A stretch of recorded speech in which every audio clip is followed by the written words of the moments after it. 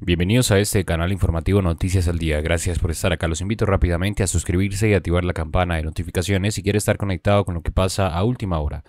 Fin a la operación especial. Putin va a declarar el conflicto total por la lentitud de su avance. No olvide dejar un comentario en este video y un me gusta también para apoyarnos. De antemano, muchas gracias.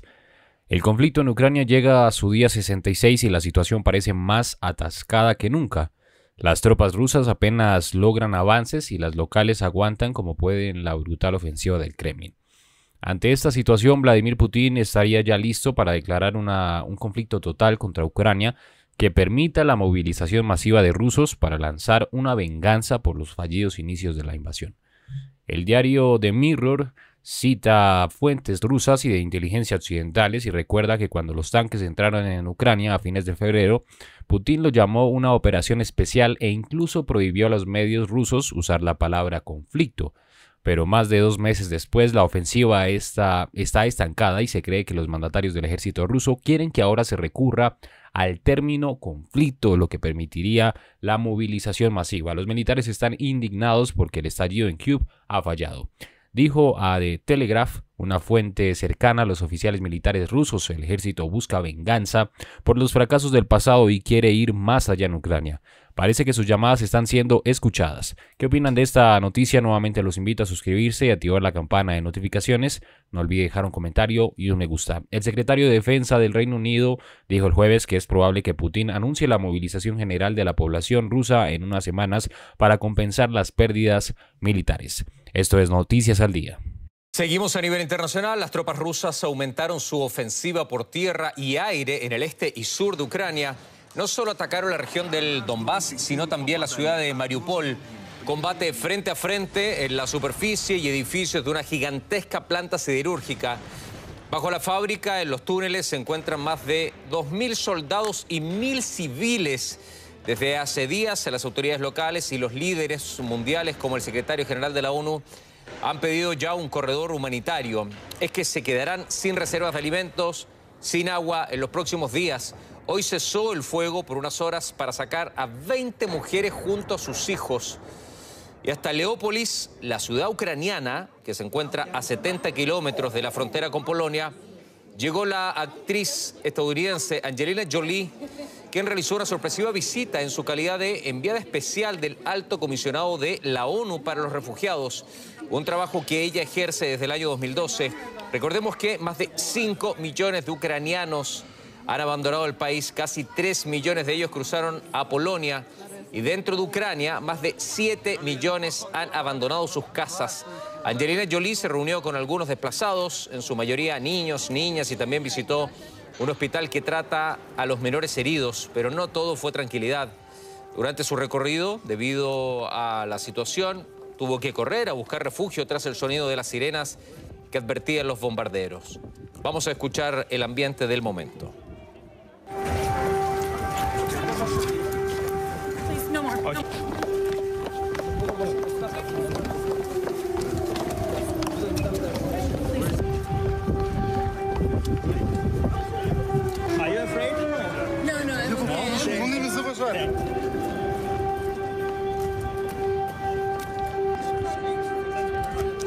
El presidente de Ucrania, Volodymyr Zelensky, urgió una respuesta global más firme al bombardeo ruso del jueves en Kiev, ocurrido mientras el secretario general de la ONU, Antonio Guterres, se encontraba en la ciudad. Es desafortunado, pero una humillación tan deliberada y brutal a Naciones Unidas por parte de Rusia no ha tenido respuesta. Hoy se supo que una periodista, una empleada de radios Bobova, Vera Girich, fue asesinada por un misil ruso que impactó en un edificio de apartamentos en Kiev. Se convirtió en la periodista número 23 cuya vida se vio truncada a causa de la invasión rusa. El secretario general de la ONU condenó el ataque de Kiev y pidió a Moscú cooperar con la Corte Penal Internacional a fin de establecer las responsabilidades sobre los presuntos crímenes cometidos contra civiles en Bucha. La Fiscalía General de Ucrania denuncia más de 8.000 casos de presuntos crímenes de guerra, mientras que el portavoz del Pentágono de Estados Unidos, John Kirby, arremetió contra el presidente ruso Vladimir Putin y cuestionó cómo un líder puede justificar los bombardeos contra hospitales y ejecuciones. Es difícil verlos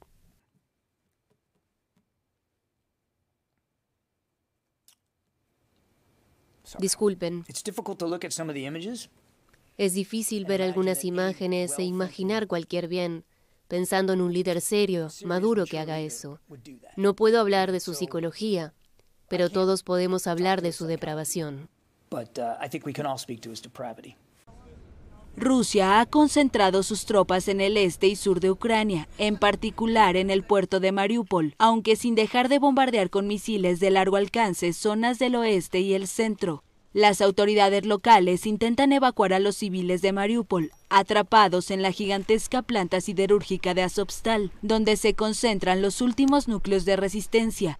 El batallón ucraniano Azov indicó en Telegram que un hospital militar de campaña ubicado en ese complejo industrial fue bombardeado.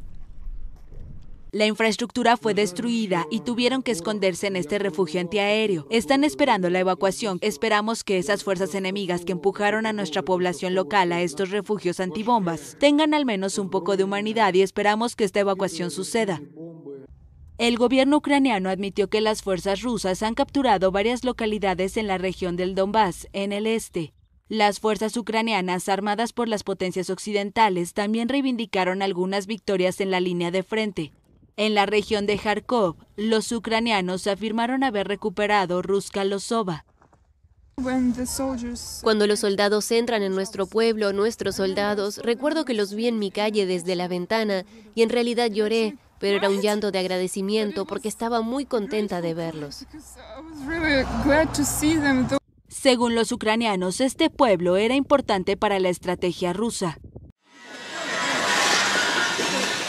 Rusia confirmó el viernes haber atacado Kiev durante la visita del secretario general de la ONU.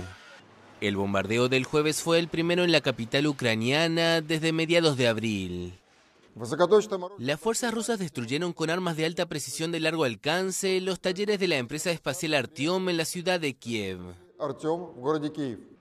El alcalde de la capital, Vitaly Klitschko, informó el viernes que al menos una persona murió durante el bombardeo. Es simbólico que en este momento el secretario general de las Naciones Unidas esté en Kiev. Esto es un supuesto saludo para él.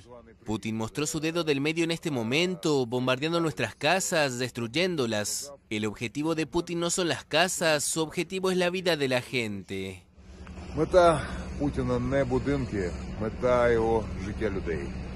El presidente ucraniano Volodymyr Zelensky, por su parte, denunció que cinco misiles cayeron sobre Kiev. Esto dice mucho sobre la verdadera actitud de Rusia hacia las instituciones globales, sobre los esfuerzos de los dirigentes rusos para humillar a la ONU y a todo lo que esta organización representa. Un portavoz de Naciones Unidas indicó que Guterres quedó conmocionado pero a salvo tras el ataque aéreo, que ocurrió cerca de donde estaba. El jefe de la ONU visitó Bucha y otras ciudades en la periferia de Kiev, escenario de presuntas atrocidades, y pidió a Moscú cooperar con la Corte Penal Internacional a fin de establecer las responsabilidades.